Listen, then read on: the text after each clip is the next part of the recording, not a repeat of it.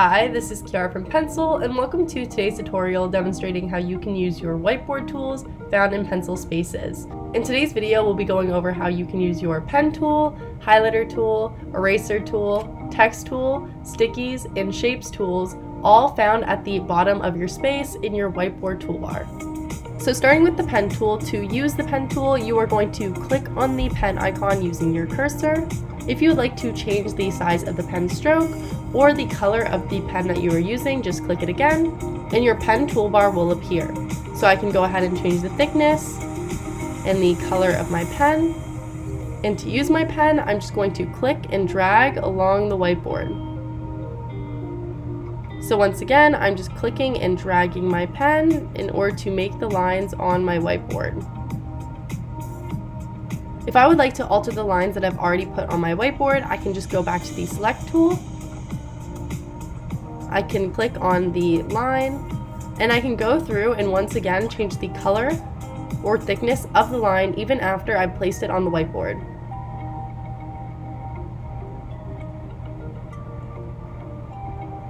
You can also go ahead and change the layering. You can duplicate the lines, you can delete the lines, you can lock it, or you can even leave a comment.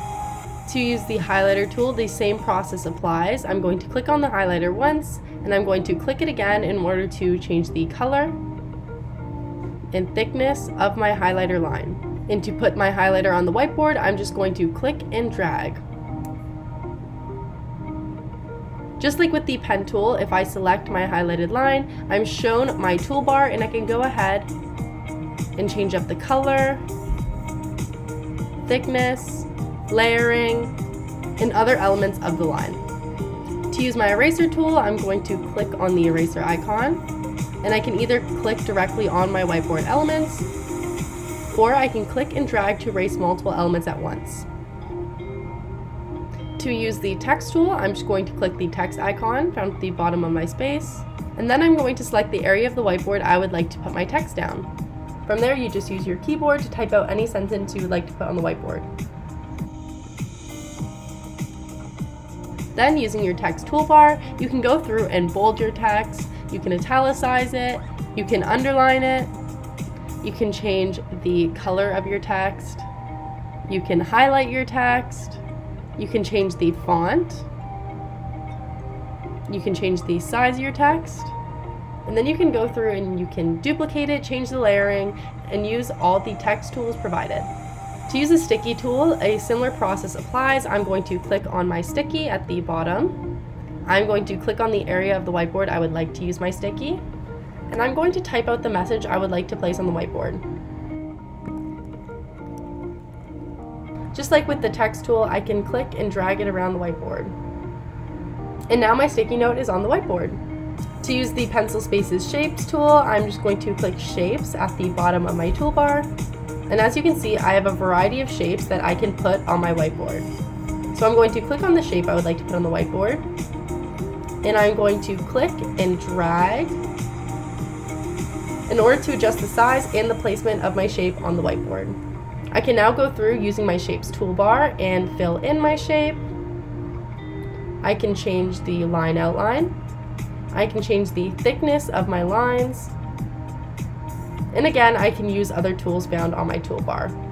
Using the shape tool, if you would like to create a perfectly horizontal line, perfectly vertical line, or a perfectly even shape, you can hold down the shift key on your keyboard while you put the shape down on your whiteboard and it will help create a perfectly horizontal line, perfectly vertical line, and perfectly even shape for you.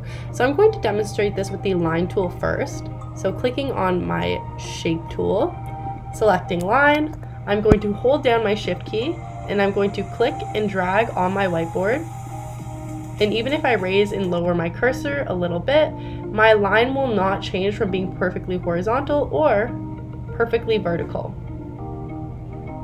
If I were to do this while not holding down the shift key, when I move my cursor up and down, the line will shift with it. Similar to with the shape tool, if I were to click on the square, I'm going to hold the shift key and I'm going to click and drag on my whiteboard to get a perfectly even square. As you can see, I'm moving my cursor, and even if I move it slightly up or down from a perfect square, it will remain a perfect square. So demonstrating this without holding down the shift key, I'm once again selecting the square tool, and when I click and drag, my square is not perfectly even on both sides. If you would like to select multiple objects at once, just click and drag on your whiteboard.